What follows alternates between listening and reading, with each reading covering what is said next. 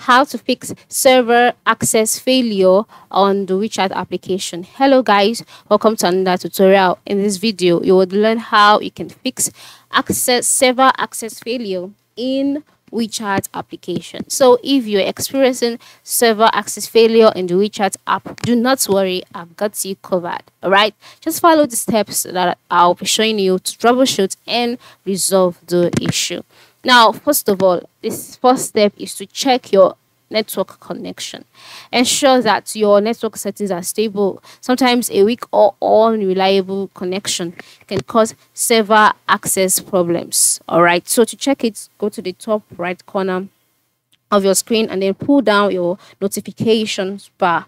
Then check out your network. If you're using the Wi-Fi or your router, check out how strong or how stable it is. Now, after doing that, your the next step is to clear your cache and data. And how do you do that? Go to your phone settings. On the settings page, navigate through to your app management page, and then on this page, select app set app list. Sorry, and then search out the application, which in this case is WeChat, and then click on it. On WeChat page, select storage and cache, and here you can see the app size, the user data, the cache, the total. So yeah, just go ahead, move to the lower right corner and click on clear cache.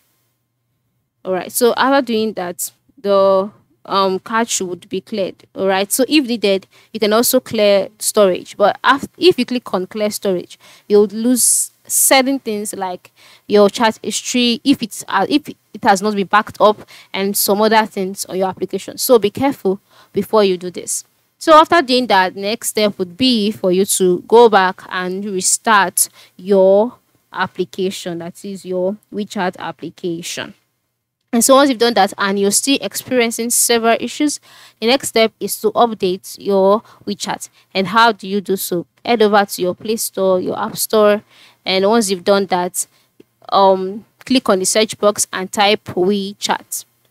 After typing out WeChat, the WeChat application will be displayed as long as long uh, alongside similar applications. So select WeChat and then once your WeChat page, you would see two options, right? Uninstall and open if there are no recent updates. But if there are recent updates for this particular application, you would see the option update here instead of open. So you can just click on updates and the application will be updated. And then some um, once it's updated, you'll be able to use the application. I am sure of that. But if it still doesn't work, then another thing you can try is to restart your phone. Yeah, a simple restart can often fix minor glitches. So close WeChat completely and restart your phone. And then the last thing uh, you can do as a troubleshooting method is to uninstall WeChat from your device. All right, so you can just head over to your phone settings again, click on your app list, locate your application, which is WeChat, uninstall it and then reinstall it from the official app store. It could be Google Play, it could be um App Store, whichever one. And then after reinstalling it, open it up and I'm sure by now it would start working perfectly. And every server issue would be sorted out. So this is how you can fix server access failure in WeChat. I'm sure this tutorial has helped you. So leave a thumbs up and a like for us. Thanks for watching and see you in the next video.